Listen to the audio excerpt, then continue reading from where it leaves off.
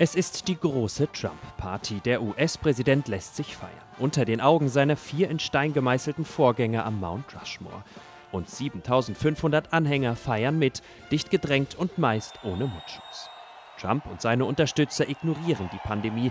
Stattdessen wettert der Präsident gegen die Menschen, die seit Wochen gegen Rassismus und für mehr Bürgerrechte auf die Straßen gehen, wirft ihnen Gewaltverbrechen vor, spricht von einem wütenden Mob.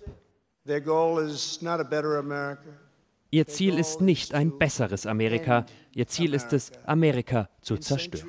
Aber wie schon in den Jahrhunderten zuvor, die Amerikaner werden ihnen im Weg stehen und wir werden gewinnen, schnell und mit großer Wut.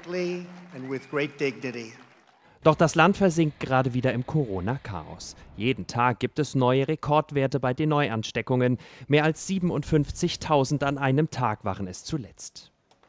In 37 Bundesstaaten steigen die Zahlen wieder. Um das Virus einzudämmen, hat Texas eine Maskenpflicht eingeführt. In Miami wurden Strände gesperrt. Ein Arzt aus Arizona schlägt Alarm. 20, 30 und 40-Jährige kommen. Sie landen hier bei uns auf der Intensivstation häufiger als Menschen in den 70ern oder 80ern. Ich sehe immer mehr von diesen jungen Leuten im Krankenhaus im Vergleich noch zu vor einem Monat. Viele fürchten am Unabhängigkeitstag große Partys mit tausenden Menschen. Mit einem Präsidenten, der es ablehnt, Maske zu tragen, würde das nicht überraschen.